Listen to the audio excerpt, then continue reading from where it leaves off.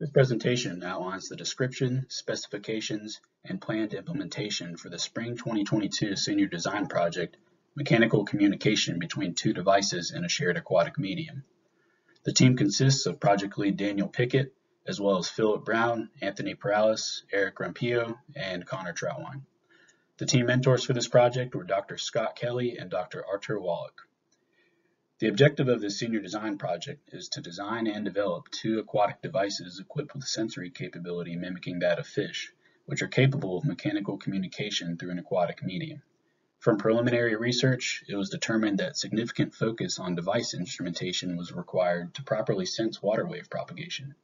Initial testing took place in a 13 by 13 by 4 foot water tank with two devices for testing, a stationary surface device that produces a wave signal at a known frequency, and a stationary device positioned at depth equipped with appropriate sensors to detect the signal produced by the surface device. The primary mode of detection explored for this project was sensing pressure changes with oncoming waves. This was achieved using two different types of pressure sensors, absolute and differential.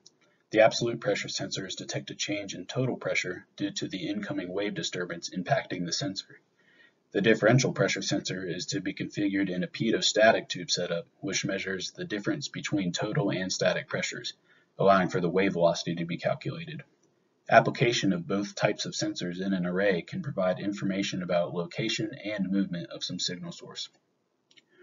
The flex sensor functions as a reactive component in response to the incoming fluid velocity. The film is composed of a conductive material that when bent produces an increase in resistance. This change in resistance increases the voltage across the load made possible through the use of voltage division.